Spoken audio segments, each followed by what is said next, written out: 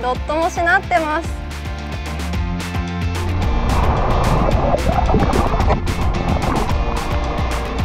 釣れました。見てください。このソイ。やっぱり根魚はもう引きも強くて反応がたくさんあるので楽しいですね。ノースアングラーズ。船ルアー愛実らせますの矢野亜美です。私は北海道のさまざまなフィールドでルアーフィッシングを楽しんでいます。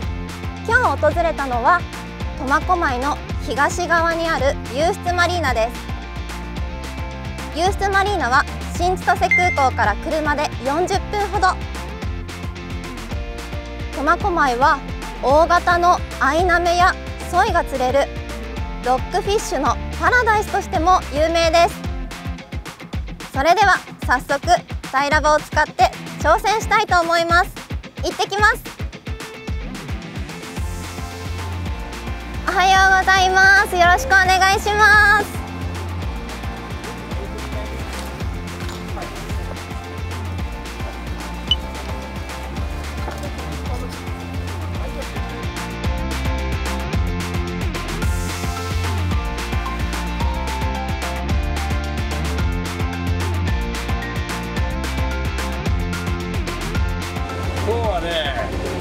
いろいろ回んないとなんていうのかなあのいい魚に会えないんじゃないかなと思ってるんだけど、まあ、理由としてはあれだよね。ここ何日かでね海水温がちょっと上昇したっていうのと、まあ、それに伴って、あの小さい魚ねイワシとか小サバとか、まあ、そういうベイトがたくさん入っていってて魚が分散してるのに加えて潮もちょっと早い日が続いたんでこうあちこちに魚散らばってる、まああの狙いやすい時期ではあるんだけど、まあ、その中でもちょっと難しい海峡なのかなと思っててでまあいろいろ水深試していこうかなと、まあ、そんなふうに思ってます、まあ、今日ね、まあ、山亜美ちゃんなんでね きっとねいい魚出してくれると思うんだけど、まあ、それを信じてねやっていきたいと思ってます。やってみて。はい、えー水深が50メーター潮の速さが1.4ノットほどあるということでまず 120g のタイラバから始めたいと思います。カラーはオレンジのカラーを使っていきます。普段からどんな状況下でもオールマイティに使えるオレンジを選ぶことが多いのですがもし反応がなければ澄んでる時はグリーン系濁っている時は黒や赤そしてグローなどの発光するまたシルエットのはっきりするものそして夕間詰めや朝間詰め曇りの日など光量が少ない時はゴールド系を使っていきます。さてじゃあ早速始めましょう。とその前にドラグをきちんと調節しなければいけませんので。そうですねだいたい手で引っ張って強く引っ張ってこれぐらい出るくらいですかね。それでは早速落としていきたいと思います。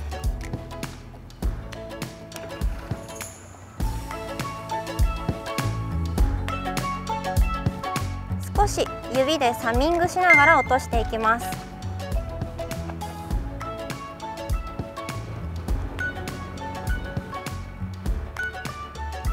はい着底しました。すぐ巻きます。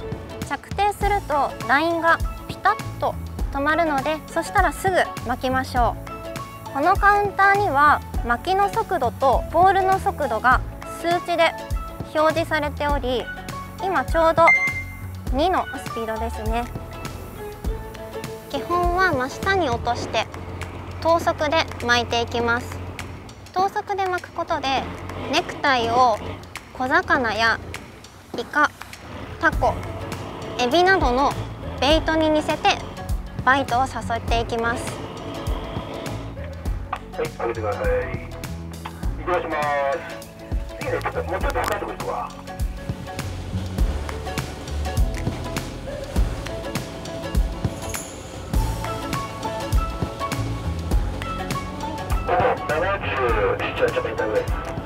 船長からワームがついていた方がいいよと言われましたのでワームをつけてみました。これでちょっと狙っていきたいと思います。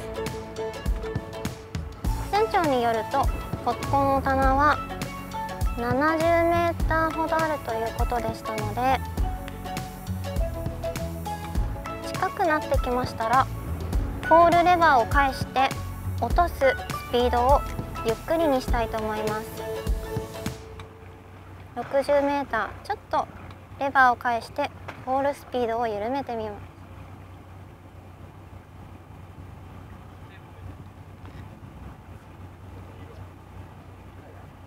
着底しました。おなんか来ましたよ。はい乗りました。なんだろう底の方でかかったのでホッケかな。コンコンという引きが。ホッケっぽいですね。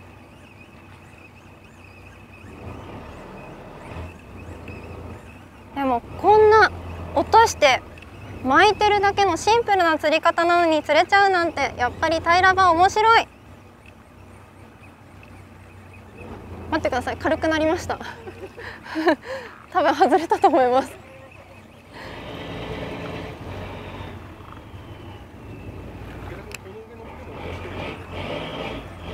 あ今ホールで食った？かな？糸が途中で止まりました。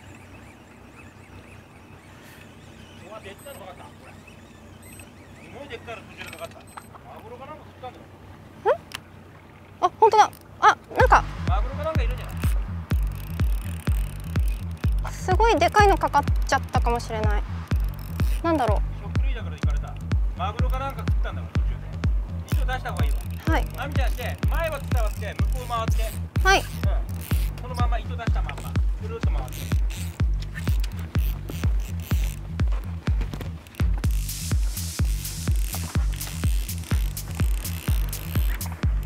今三十五。三十二。バレましたかね？二十。あ、いや、出てます。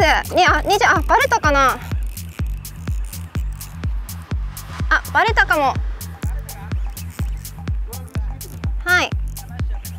多分話しました。あ、いや、ついてる。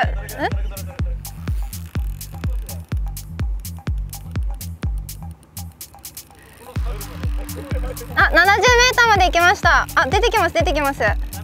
今75。90メーター。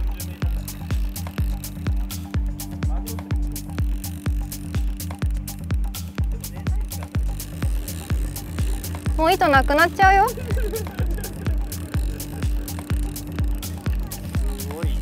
すごいですね。長い戦いになりそうです。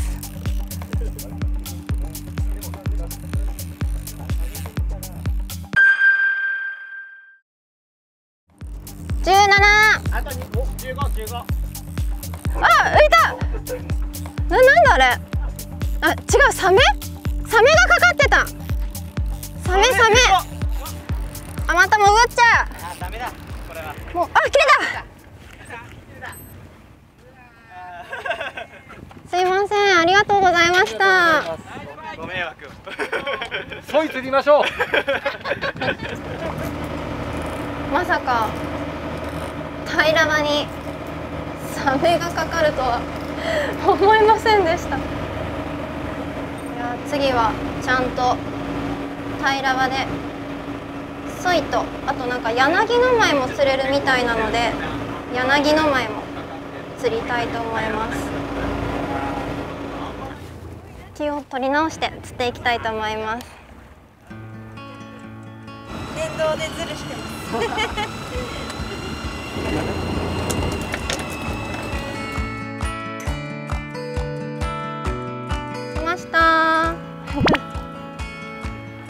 ホッケが。そこに落としてすぐ食ってきましたよ。はいはいはい。はい釣れました。美味しそうですね。ホッケでした。ホッケの反応が多かったのでとカラーを変えてグリーンゴールドにしてみました。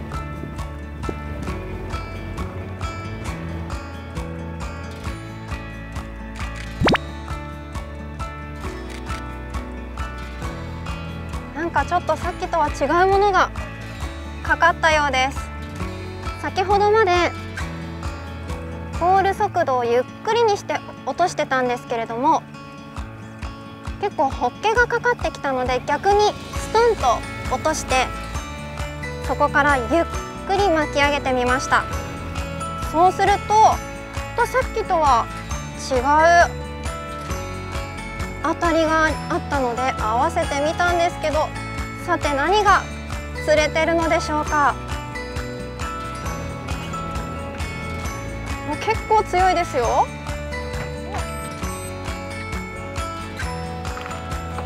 はい柳の前です。狙い方を変えたらすぐ違う魚種がヒットしました。楽しいですね。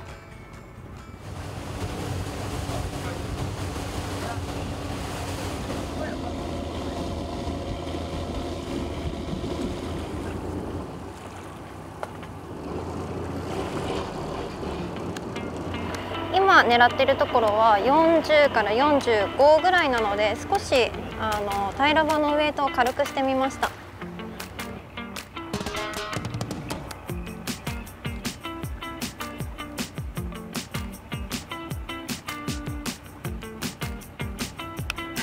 5メーターぐらい巻いて落としてを繰り返していきます。なんかホールできましたね。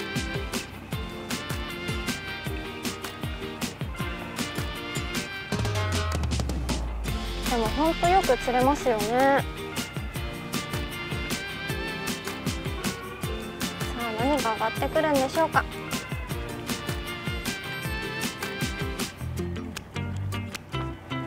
ガヤでしたいいガヤでしたあ、重たくし。ました。あと今日みたいな日は暑いから対帽子とかもあった方がいいですよね。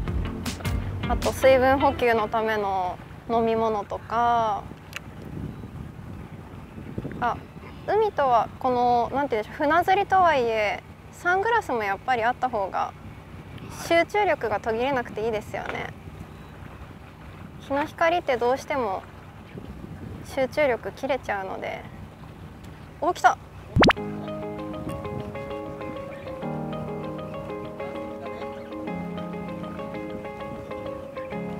さそう。結構いいサイズですよ。おお来たいい感じにロットもしなってます。わあ何が釣れるんだろう。あと2メーターです。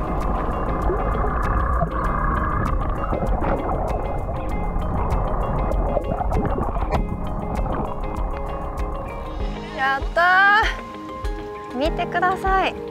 このソイ。